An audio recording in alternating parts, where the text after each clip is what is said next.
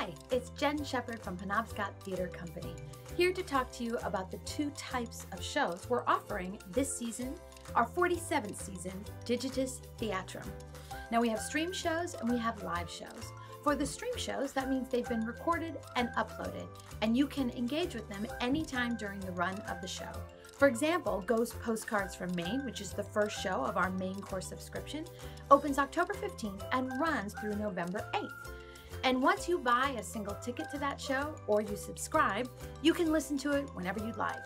You want to listen to it at 2 p.m. on a sunny day? You do that. You want to listen to it at midnight in one of the ghost towns? You do that. The other type of show is a live show. That means it's being performed in real time by a living person on the other side of that computer screen. The live shows this season are Ghost Hunting in Bangor, Deck the Balls, Matt Marcy Magic, Flying Solo, and White Rabbit, Red Rabbit. When you subscribe for those shows or buy a single ticket, you need to pick a date and a time. And then you should really pick the best seat in your house. Don't pick the worst seat, pick the best seat. Sit down and enjoy the show.